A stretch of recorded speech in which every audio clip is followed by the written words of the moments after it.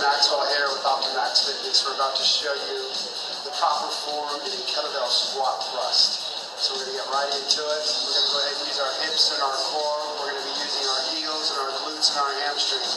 We're going to keep that chest up. We're going to keep that butt down. And you're going to upright row that kettlebell into a 45 degree thrust. So you're going to sit down with that chest up, that butt down in a squat position.